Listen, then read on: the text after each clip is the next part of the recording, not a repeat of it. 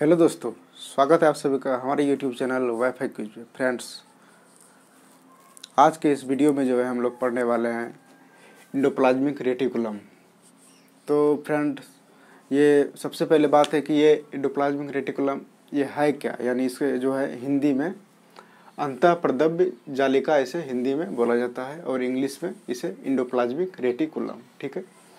तो ये जो इंडोप्लाज्मिक रेटिकुलम है, ये आखिर में है क्या? तो ये भी जो है फ्रेंड एक प्लास्टिड या मेट्रोकंडिया के भांति ये एक कोशिकांग है, ठीक है? ये कोशिका के अंदर में ये मौजूद रहता है, ठीक है?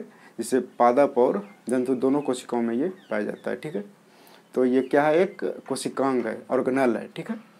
तो सबसे पहले चलते हैं कि इसकी खोज के बारे में देख लेते हैं, उसके बाद फिर हम इस पर आते हैं, ठीक है?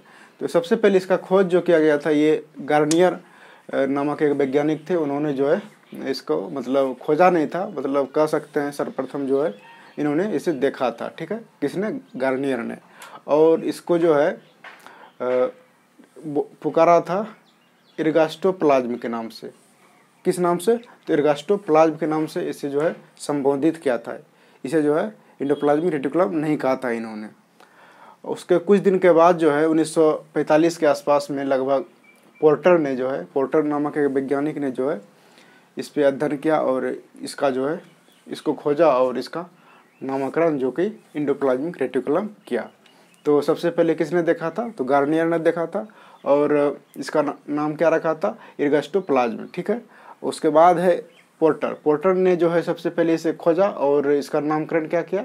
नामकरण इसका कर दिया, ठीक है? कब? तो इस भी उतना इम्पोर्टेंट नहीं है फ्रेंड, क्योंकि ये साइंस का क्लास है, ये हिस्ट्री का क्लास नहीं है, ठीक है? तो 1945 में जो है इसे नामकरण किया था पोर्टर ने, ठीक है? तो अब बात आती है कि ये जो है इंडोप्लाज्मिक रेटिकुलम का काम क्या है? सेल में इसका क्या काम है, ठीक है? तो जैसे कि हमारे शरीर में हड्डी का जो काम करता है, हड्डी जो काम करता है हमारे शरीर में, वही काम जो है, जो कोशिका में ये इंडोप्लाज्मिक रेटिकुलम कर देता है। जैसे आप घर बनाते हैं तो घर में जो जैसे पिलर वगैरह देते हैं या ऊपर से ग्रेड बीम वगैरह देते हैं तो, ये क्या होता है एक स्केल्टर का काम करता है यानी एक कंकाल का काम करता है।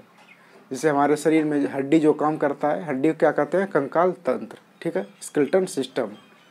उसी तरह से जो है ये सेल को यानी कोशिका को जो है ये मजबूती प्रदान करता है ठीक है? ये इंडोप्लाज्मिक रेटिकुलम ठीक है? इसीलिए जो है इसे जो है रेटिकुलम कहा जाता है इंडोप्लाज्मिक रेटिकुलम ठीक है?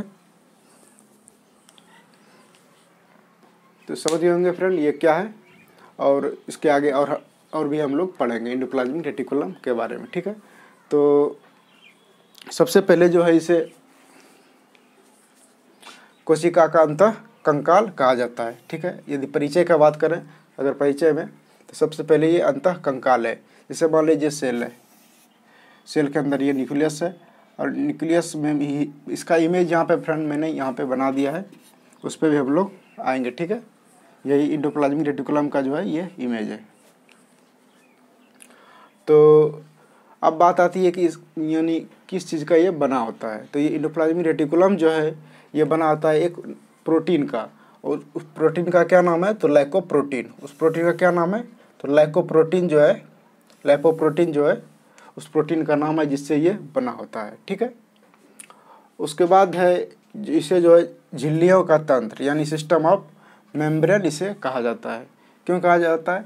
तो ये फ्रेंड जो है जो झिल्लियों का निर्माण करता है, ये सेल के अंदर में झिल्लियाँ हैं, चाहे वो न्यूक्लियस के अंदर की झिल्लियाँ हो, चाहे वो बाहर के सेल के बाहरी झिल्ली हो, और झिल्लियों का ही जो है निर्माण करता है, और झिल्ली नुमा संरचना के कारण भी इसे जो है झिल्लियों का तंत्र कहा जाता है, क्योंकि इसमें बहुत सारा झिल्ली इसमें पाया जाता है। देख सकते हैं आप, ये रफ इंडोप्लाज्मिक रेटिकुलम है और ये स्मूथ है, ठीक है? तो इसीलिए इसे जो है झिल्लियों का तंत्र इसे कहा जाता है। तंत्र का क्या मतलब? तंत्र का मतलब होता है सिस्टम सिस्टम मतलब जैसे स्कल्टन सिस्टम पढ़ते हैं, पाच, पाचन तंत्र में जैसे पढ़ते हैं तो जैसे तंत्रिका तंत्र हुआ, पाचन तंत्र हुआ ये सभी जो है क्या है, एक तंत्र है, जैसे बहुत सारा पाचन ग्रंथियाँ मिल करके जो है पाचन तंत्र बनाती है। उसी प्रकार जो है बहुत सारी जो है हड्डी मिल के स्कल्टन सिस्टम बनाती है, ठीक है? उसी प्रकार से जो है, ये जो है बहुत सारा झिल्ली मिला करके जो है ये एक तंत्र का निर्माण करता है, ठीक है? इसीलिए इसे जो है झिल्लियों का तंत्र कहा जाता है। और ये जो है, ये सिर्फ़ और सिर्फ़ यूक्रेटिक सेल में पाया जाता है फ्रेंड ठीक है? किसमें? यूक्रेटिक सेल यानी जो डेवलप सेल है, उसमें जो सिर्फ़ पाया जाता है। ठीक है? एंडोप्लाज्मिक रेटिकुलम किसमें पाया जाएगा? तो सभी यूक्रेटिक्स कोशिकाओं में पाया जाएगा। ठीक है? और ये स्तनधारियों के आरबीसी और प्रोक्रेटिक सेल में जो है, ये मौजूद नहीं होते हैं। ठीक है? किसमें? स्तनधारियों के आरबीसी और और प्रोक्रेटिक में। तो प्रोक्रेटिक में क्यों नहीं पाया जाता है फ्रेंड क्योंकि प्रोक्रेटिक जो सेल होते हैं, उसमें जो है मेम्ब्रेन उसमें मेम्ब्रेन नहीं होते, उसमें डेवलप मेम्ब्रेन नहीं होते हैं।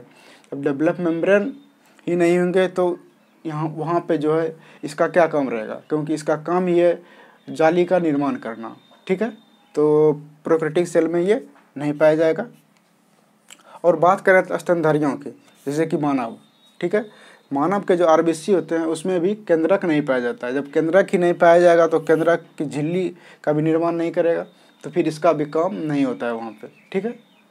क्योंकि आप देखेंगे फ्रेंड ये इंडोप्लाज्मिक रेटिकुलम जो है, ये केंद्रक के मतलब पास में ही मौजूद रहता है। ये केंद्रक है, ये केंद्रक है, और केंद्रक के पास में ही ये मौजूद रहता है, ये केंद्रक से जुड़ा रहता है। इसीलिए ये स्तनधारियों के आरबीसी और प्रोक्रेटिक सेल में ये नहीं पाया जाएगा। ठीक है? और अब बात करते हैं इसके कार्य की। तो इसका क्या क्या कार्य है? जैसे एंडोप्लाज्मिक रेटिकुलम को मैंने कहा कि ये अंत कंकाल है, एक, यानी सेल का जो है अंत कंकाल है। ठीक है? और ये जो है अनुवांशिक पदार्थ का जो है, यानी जैसे मान लीजिए ये सेल है, यहाँ पे डोप्लाज्मिक रेटिकुलम है। तो ये जो है अनुवांशिक पदार्थ का एक पथ प्रदान करता है। इंडोप्लाज्मिक रेटिकुलम जो है यहाँ पे आप देख रहे होंगे, ये पथ यानी रास्ता बना हुआ है। ये जो है, अनुवांशिक पदार्थ, जैसे कि डीएनए वगैरह सबको जो है, न्यूक्लियस से जो है सेल के बाहरी भागों तक पहुँचाने का काम करता है ये इंडोप्लाज्मिक रेटिकुलम, ठीक है? इसीलिए जो है, ये अनुवंशिक पदार्थ का क्या करते हैं? परिवहन करते हैं। उसके बाद है कि ये जो है, तीसरा नंबर है, झिल्लियों का निर्माण। ये मैंने बता दिया है, फ्रेंड। ये झिल्लियों का निर्माण करते हैं। और झिल्लियों का निर्माण किससे होता है?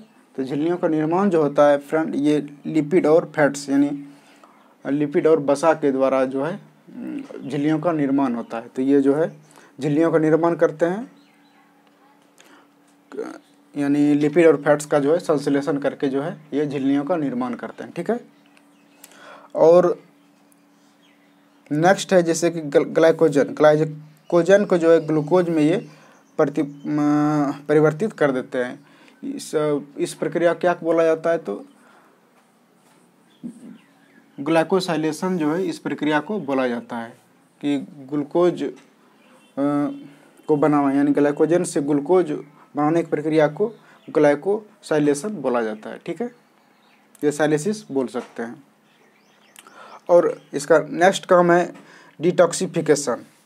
यानी विषाक्तन यानी विषाक्तन जैसे नशा वगैरह या जहर सबका जो विषा, विष होता है, उसे जो है डिटॉक्स करने, यानी उसे जो है काटने का काम करता है, ठीक है? तो ये जो है लीवर, यानी लीवर में जो है ये बहुत बड़ी मात्रा में ये पाया जाता है, ये सेल, ठीक है? सेल यानी मान लीजिए मान लीजिए ये लीवर है तो लीवर के, आसपास जो है ये सबसे अधिक मात्रा में यानी लीवर में जो है सबसे अधिक मात्रा में ये इंडोप्लाज्मिक रेटिकुलम वहाँ पे पाया जाएगा। यानी वहाँ के सेल में जो है अधिक मात्रा में ये पाया जाएगा। क्योंकि इसे जो है जहर को क्या करना है? काट करना है ठीक है? यानी जहर को इसको ख़त्म करना है। इसका काम है ठीक है? तो ये कहाँ पे पाया जाएगा? तो लीवर में। आप सभी जानते हैं फ्रेंड जो जहर वगैरह होता है ये तो उससे जो है लीवर इसे डिटॉक्टिस करता है ठीक है? इसीलिए वहीं पे ये पाया जाएगा, ठीक है? उसके बाद आते हैं इसका जो, इसे जो है दो प्रकार से इसे बांटा गया, एक स्मूथ स्मूथ ईआर और एक रफ ईआर, ठीक है? स्मूथ ईआर और रफ ईआर में जो है, हम लोग जो है डिफरेंस समझेंगे। जैसे कि स्मूथ इस, स्मूथ ईआर में जो है, राइबोसोम जो है प्रेजेंट नहीं होता है। तो इसीलिए इसे स्मूथ राइबोसोम बोला जाता है, ठीक है? जबकि रफ ईआर में जो है राइबोसोम मौजूद होता है। यानी, आप यहाँ पे इमेज में देख सकते हैं फ्रेंड ये इमेज जो मैंने बनाया है, ये है स्मूथ ईआर का। और ये जो इमेज है यहाँ पे, ये क्या है? रफ ईआर का। यानी न्यूक्लियस के बाहर में जो है, सबसे पहले सटा कौन रहेगा? तो ये रफ वाला रहेगा, ठीक है? और रफ पे जो है, ये आप बिंदा बिंदा देख रहे हैं काला काला ये राइबोसोम है। क्योंकि राइबोसोम का फ्रेंड अब हम लोग पढ़ेंगे कि राइबोसोम जो है, का निर्माण जो है न्यूक्लियस करता है। न्यूक्लियस में मतलब यहाँ पे जो न्यूक्लियस होता है, केंद्रिका होता है, ये केंद्रक में जो एक केंद्रिका होती है, वहीं पे जो है राइबोसोम का निर्माण होता है, ठीक है? तो ये राइबोसोम का वहाँ पे निर्माण होने के बाद जो है, ये राइबोसोम यहाँ पे इस रफ ई e में जो है, ये चिपक जाता है, यहाँ पे, इस तरह से चिपक जाता है। और किस लिए चिपकता है तो फ्रेंड और जिस, ये जो चिपकता है फ्रेंड ये रब रिबोफोरिन प्रोटीन के मदद से जो है ये वहाँ पे चिपका रहता है। किस, यानी फेविकॉल का काम ये रिबोफोरिन प्रोटीन करता है वहाँ पे। यानी इसके चिपकने में, यानी राइबोसोम के चिपकने में जो है, ये प्रोटीन बहुत इसे मदद करता है, ठीक है? यानी फेविकॉल का काम करता है, ठीक है? यहाँ पे राइबोसोम यहाँ पे बना, निर्माण हुआ, उसके बाद यहाँ से जो है, इसके, यहाँ पे इसमें सट गया रफ में, और उसके बाद कुछ जो और राइबोसोम होंगे, वो जो सेटोप्लाज में जो है, वो विस्तृत हो जाएँगे, ठीक है? उसके बाद है फ्रेंड लिपिड ये जो है, स्मूथ ईआर जो है लिपिड और फैट्स का निर्माण करता है, यानी संश्लेषण करता है, और क्योंकि ये जो है, झिल्ली का निर्माण करता है, ठीक है? उसके बाद है स्कॉर्बिक एसिड यानी स्कॉर्बिक एसिड का भी जो है ये सेक्रेशन करते हैं, ठीक है? यानी संश्लेषण करते हैं।